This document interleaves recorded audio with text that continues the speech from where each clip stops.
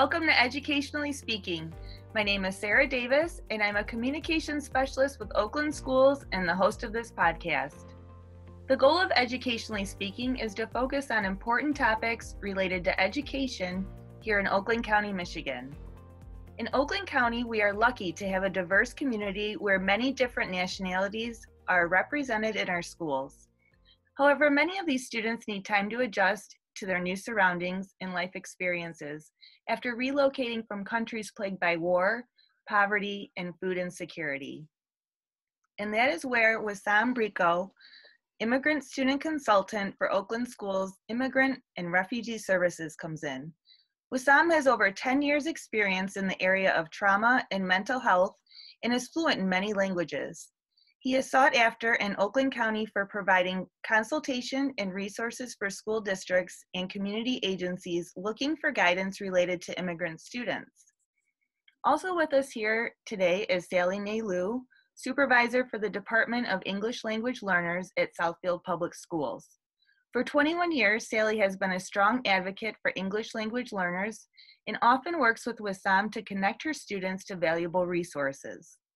Wisam and Sally are both here to talk with us today about ways we can support our immigrant students in school. Welcome to both of you. Thanks for having us, Sarah. Yes, thank you, Sarah. No problem. So, one of the things Wisam that probably makes you so good at your job is that you're an immigrant yourself and experienced a lot of hardships a student might anticipate when beginning school here in Michigan. Can you tell us a little bit about your story? Thanks again, Sarah. Um, I still remember the day like it was yesterday. A hot summer day in Baghdad, Iraq. The phone rang, I picked up, and it was my dad asking me if I wanted to go to America. Now, at that moment, I really thought this was a joke. I really didn't believe him. But to this day, I can never forget that moment. I started crying out of joy, just thinking that I will be going to the greatest country on earth and live in America. We arrived to the US late of 1998. I was 14 at the time. I started high school as a freshman here in Oakland County in January of 1999. Now, even though I was born and raised during two wars and witnessed many, many explosions, airstrikes, and destructions of Iraq, my trauma was nowhere near the trauma that some of our students have gone through before coming here. And so I consider myself lucky because it could have been much worse. I was bullied, harassed, made fun of just because I didn't speak a word of English, the way I was dressed, or the way my hair was done that day. The fact that no other students spoke Arabic and or Chaldean at that school did not help either. But at the same time, it really helped me learn the language much quicker. Now, I dealt with my trauma by keeping everything inside. I did not speak, talk, or participated in any school activity because I thought no one cared. No one offered to help. No one asked me how I was doing. There were no resources available for me to um, utilize. Uh, my teachers always thought once I learned the language, it would be easier for me. Now, I, I did speak the language, I knew the language, I just held everything inside. It was that trauma. Now, I started my senior year at a new high school, and I thought this was a new, fresh start. However, two weeks into my senior year, September 11th happened. And it was freshman year all over again when it come to trauma. Um, the only person really I could turn to was my mom. She was my guidance, my, uh, my advisor, and everything else. Um, I, I wish the school had more resources, uh, more guidance that I could have uh, utilized during my senior, during my years in high school. Yeah, absolutely. What what a, what a story there. Um, I heard you mention that one of the main issues, you know, was obviously the lack of resources. So, what resources would have been helpful to you?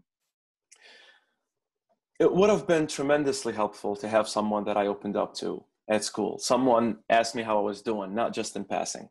Sharing resources with me, um, after school programs. Um, I'll give you a, a funny story. Um, about OTAC, Oakland Schools Technical Centers.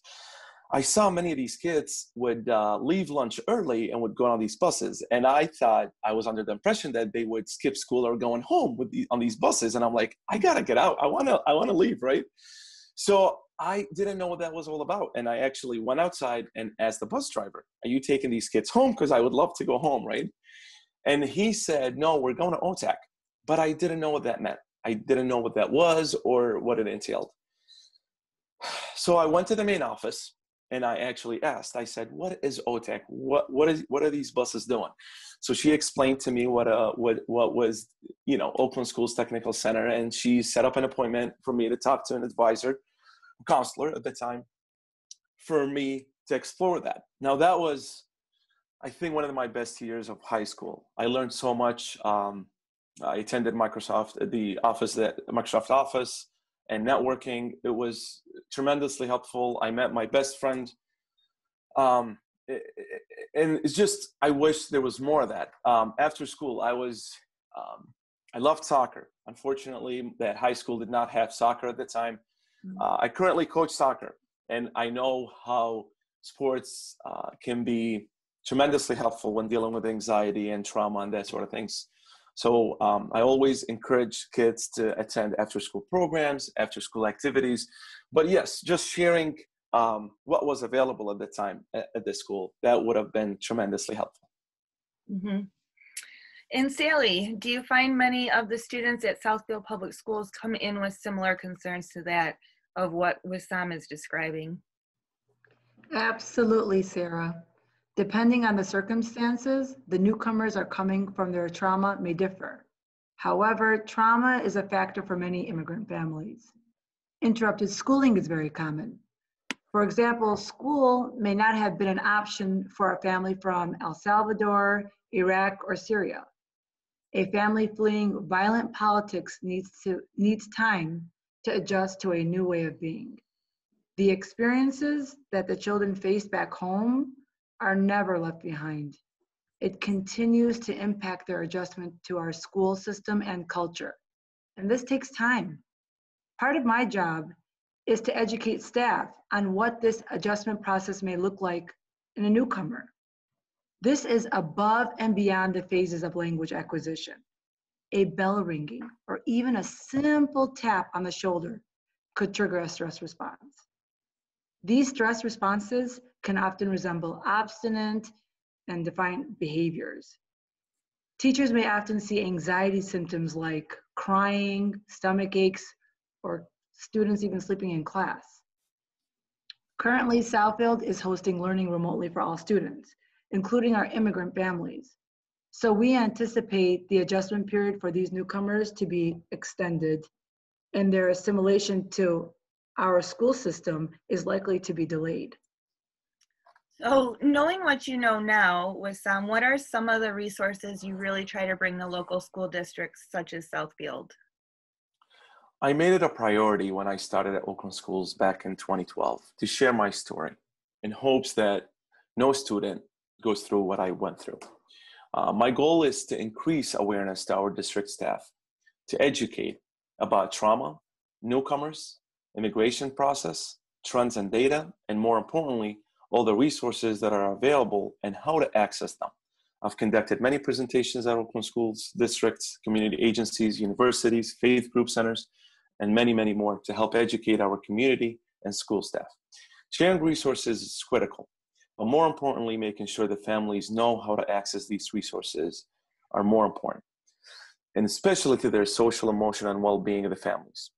I can always just refer a family to an agency, but we, you know, what if that family doesn't speak that language? What if they don't have reliable transportation? What if, what if, what if, what if, what if? Um, you know, it's easier just to give a, a resource out, but it's harder, but at the same time, it's rewarding when you actually hear the story. Every story is different. Sally can attest to that. Every family is different. Uh, the same family might need mental health services, but one might have Medicaid, one might not, not, not have. And so just knowing the entire story, it's really easy for us to help. Some of the resources that we helped coordinate, backpacks drive, winter jackets and clothes, Thanksgiving, holiday programs, Christmas program, which is my ultimate favorite. And now we're, we're, we're, um, we're in coordination right now of getting these Thanksgiving and holiday baskets, getting Christmas presents, and I feel like Santa. And it, it's it's tremendous rewarding, um, you know, getting a present or a gift for that child. Um, translation services, health clinics, parenting workshops, and most importantly, mental health services and trauma services. And it's a combination of the two, whether it's providing the professional learning and the um, and the resources. We have to understand where these kids are coming from, so we can understand the full picture and how we can help them. Excellent. Yes, I know you do a lot of uh, good community outreach there because I also do the social media for Oakland schools, and I'm able to post those positive pictures. Those are some of my favorite things to get and, and put up there. But um, Sally, can you further discuss specifically what resources Wisam has brought to Southfield schools? You couldn't be more correct in your assessment of Wisam's value to our schools. I've attended his trauma workshops at Oakland Schools. He is the person I call first for family resources, such as just recently, a Spanish speaking doctor.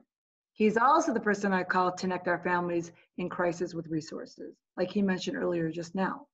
The most current example of this was the Samaritas this year as well, this faith-based organization helps new Americans with resettlement services, such as homes and jobs, and I would have never ever known about this if it wasn't for Wisam. He has provided our ELL families with backpacks, like he mentioned earlier, gifts, food during the holidays as well. His connections are limitless, it seems.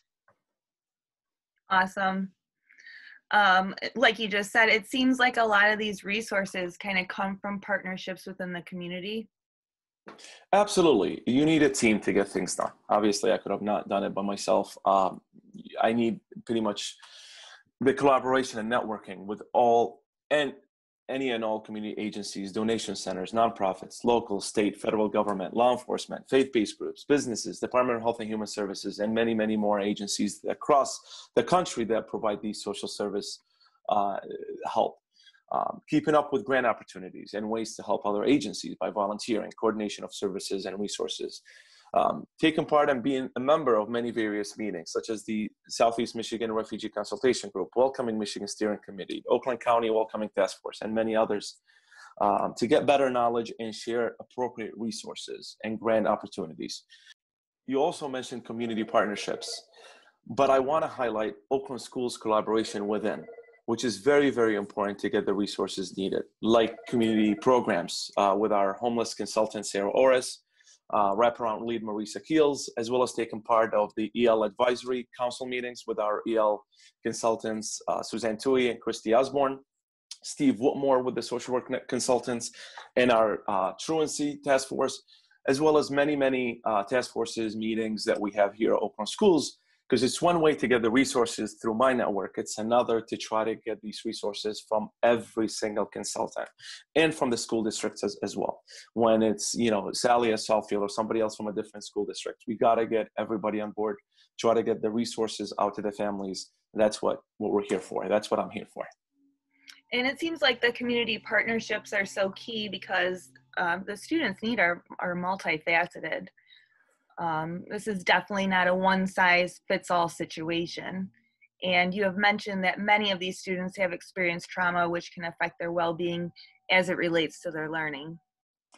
Many of our students, immigrant students and families, have been traumatized well before they make their ways to the US due to wars, natural disasters, killings, airstrikes, and so forth. Research also tells us that traumatized children cannot retain all the information that presented to them. Providing mental health resources is critical to our families. However, due to the culture and stigma that surrounds our immigrant families, many are reluctant to send their kids to seek mental health services. However, they are totally fine uh, with a school social worker seeing and talking to their child. And so we are constantly talking about trauma and what we're doing. And we're constantly talking about trauma and how it impacts our children, but what are we doing? Um, I've done many presentations where I invited trauma experts from Wayne State and U of M and other uh, local community mental health. But I, I feel like we need to do more and more to try to get these services. We try to partner up with these uh, services and agencies and university to bring these services to the classroom, to the schools. If that's how we can make uh, an impact, then we should do that. Sally, is this in fact what you have seen as well? And can you talk a little bit about how you work to make Southfield Public Schools a safe haven? Yes, and I'd like to say teamwork is what makes the dream work, right? So everything Wisam was saying earlier sounds fabulous. First and foremost is the education of our teachers on this trauma. Southfield has offered training on trauma-informed practices district-wide. Our department also provides training on immigrant-specific trauma. We provide ourselves, we pride ourselves on our customer service, so to speak. Families call our staff at all hours when they need when they have needs. For many, we are their first point of support. It is 100% correct that school is a safe haven for students because it provides structure within what may feel like a chaotic new world for them. This becomes more challenging, yet not impossible in the virtual world. Just recently, our department was featured on a Channel 4 news segment on districts going above and beyond for students. Our portion covered the distribution of home learning support kits for our ELL families. We also support our families in getting online. For many, this would have been impossible without our direct support. Obviously, we had to follow CDC guidelines, but we made it happen in person. For a few families, this took multiple visits until they felt comfortable enough to engage independently at home.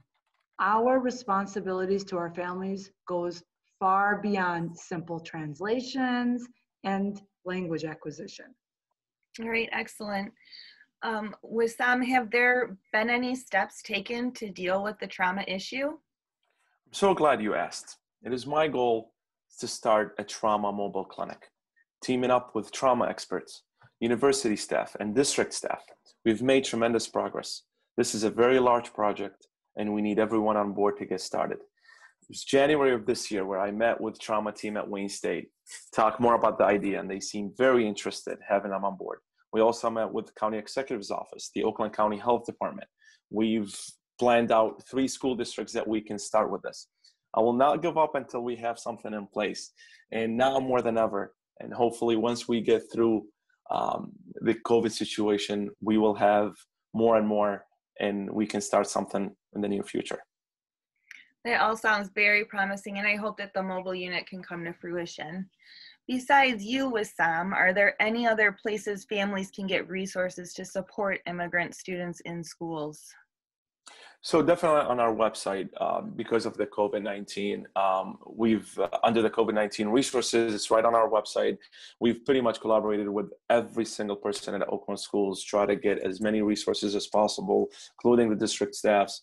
Um, we have pretty much, you know, translate translated resources, everything else. You can also go on the welcomingmichigan.org website that has many community resources and support to try to get these resources. Um, feel you know you can always reach out to me, but I always encourage uh, parents and students to reach out to the school district. Um, I'm every every school district has someone as amazing as Sally in in Oakland County and beyond.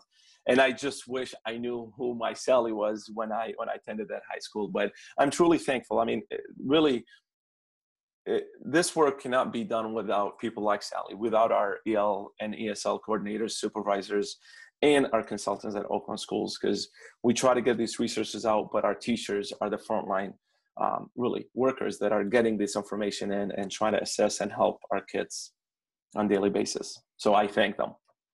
I'd like to say that I'm very fortunate to know Wisam and have had met Wisam because he himself is the resource for me one click of an email, a text, or a call, and he directs me who I need to talk to, where do I, where do I need to go, how to get my resources. He is the point person for sure. We are very fortunate to have him at Oakland Schools.